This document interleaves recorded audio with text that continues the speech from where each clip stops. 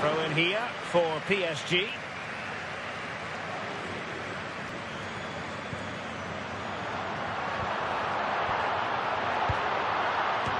No-nonsense clearance.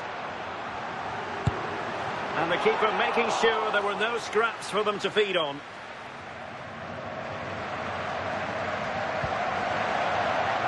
Lost possession. Can he finish?